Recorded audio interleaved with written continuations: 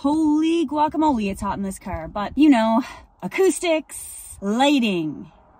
but truly, I'm here with another impromptu video because somebody rattled me today on the internet. That's right, a troll got to me. Back in March of 2020, I started shuffle dancing as a form of like stress relief for COVID.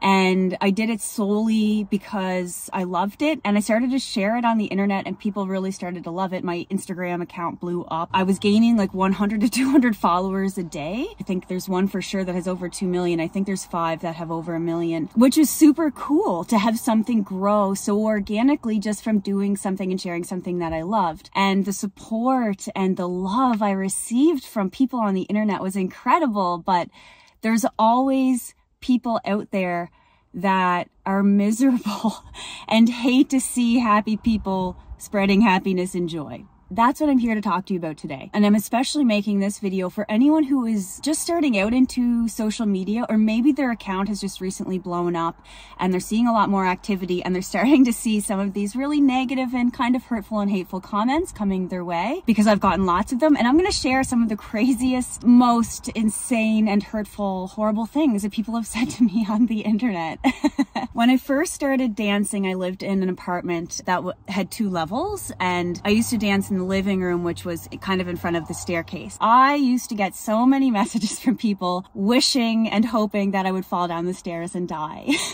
like, why? When I would receive those messages, I didn't really think too much of those. Like, really? You hope I die for dancing? Like, are you are you that unhappy? I've had a lot of people as well tell me I'm not a good dancer. That also doesn't really hurt my feelings. Although it doesn't feel good, I don't really take it to heart because I actually have no dance training. Everything I learned was from reels and tutorials on Instagram. I don't dance to, I only dance because I love it.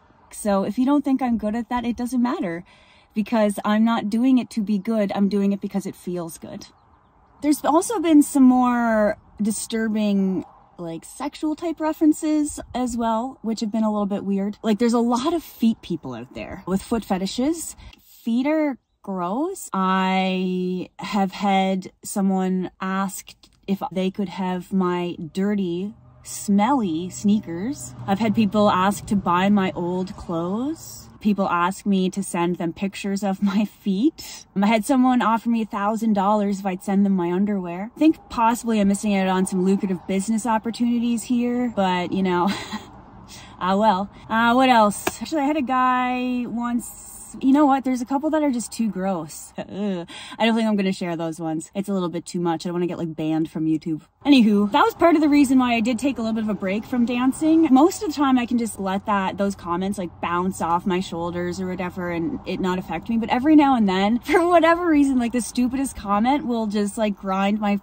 gears. About two weeks ago, I posted a video and I was like, oh, I'm back, you know, I'm feeling good. I, I got a space where I can dance, turn the music up loud. And I shared the video, a video a dance video for the first time in like over six months and the response was awesome. The video had 65 comments, like 449 likes. There was over 7,000 views.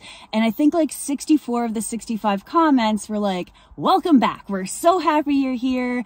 You know, like we missed you. Just really positive, amazing stuff, right? Like 99%. And then there's that one comment. He's like, we didn't miss you. Please stop. You suck okay? It's you, not me.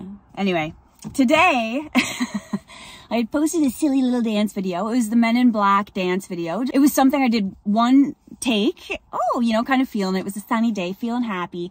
And I did a little dance to the Men in Black video. So this guy, and it's always guys, why are the boys bullying me? Like, please stop. He said awkward. And so I'm thinking to myself, I'm looking at the video and I'm like, am I awkward? No, Mel, you don't question yourself.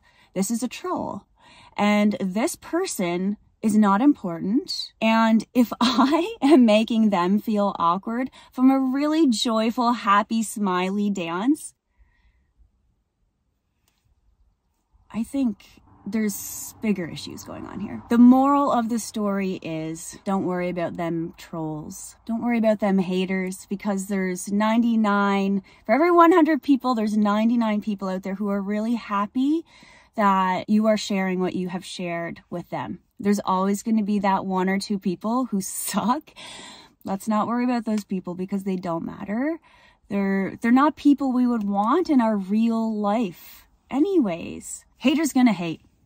Ignore them. They don't matter. Sometimes it's easier to ignore them than others. And on those days that it's hard to ignore, do not respond. what you are doing matters. The joy you're sharing, the happiness you're sharing, the whatever it is. Just keep doing what you're doing and know that almost all of us are really happy that you're doing it. And thank you for being here and listening to me. Bye guys. Have a great day.